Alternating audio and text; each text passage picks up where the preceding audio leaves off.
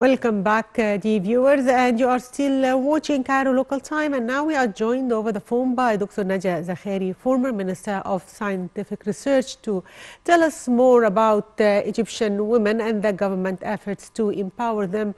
Uh, good afternoon, Dr. Nadia. I'm sorry, the voice is very, very far. Okay. uh, This is good, yes. yes, yes, Dr. Nadia. Uh, first of all, happy Women's Day to you and Thank your you. family. the Uh, same to you and to every woman in Egypt and every worldwide. Yes, uh, Dr. Nadia. Uh, if we talk about uh, the government uh, efforts uh, uh, that aim at uh, empowering Egyptian women, how do you evaluate these efforts? Of course, we are in the golden era for women nowadays, and the start was from the sustainable development and the, a chapter, a whole chapter for empowering women Yes. economically, politically, and uh, socially.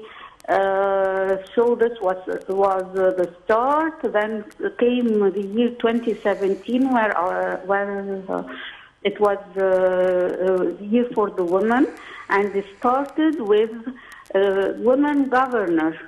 As you know, uh, this was very strange to have a woman governor governor Yes. in Egypt. We never had it. We had ministers, we had whatever, but not a governor. And then we had many uh, parliamentarians, women, about Yes. 28% we are now in the, parliament. in the parliament. We have uh, eight uh, ministers. Yes. We have uh, many deans for the universities, and we have um, uh, judges.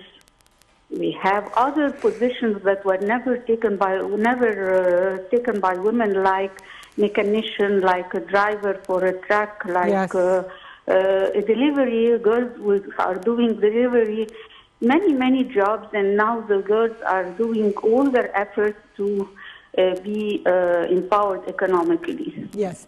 Uh, if we talk also about efforts to empower Egyptian women in rural areas uh, via a Decent Life initiative and other initiatives, how do you see uh, these initiatives?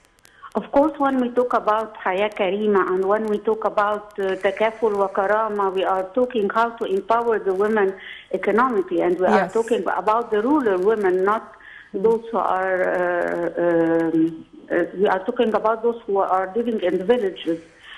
Uh, so uh, the National Council of Women is making a great effort in uh, the villages, especially like Almenia, like Sina, like Siwa, like uh, Halayb, Shalatin, to empower the women there and to make them an ID, because doing an ID makes uh, an identity for the Yes. woman.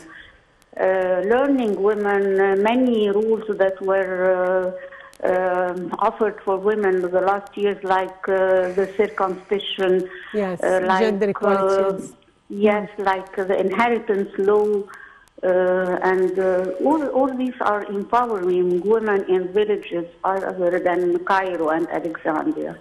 Also, if we talk about the main goals, uh, the main goals of Agenda 2030, uh, and uh, to what extent the women uh, are involved in uh, this uh, 2030 agenda? You know, the most important thing is learning and education. It is very important for the girls because uh, being educated and being in university or having a certain uh, certificate, this empowers the, chil- the women and the girls, and this uh, prohibits the early ma- marriage for the girls, and this is very important because when a woman has a certain certificate, she can work, she can uh, continue her learning, and then she thinks about marriage. But when she's married at a young age, this destroyed her life and the life of the of the whole family that she's doing. Yes. So, in your opinion, what are the challenges that still face Egyptian women nowadays? Let me say that many opportunities have been given to the women. Yes. But the main challenge is to uh, change the mind of the community towards uh, the women and giving a good idea about the women in the whole community because not all the community believe that women should have their rights, should work, should learn, should whatever. But as uh, our president and the government, they believe in that and they are doing so great efforts to give the women chances to prove herself. Yes.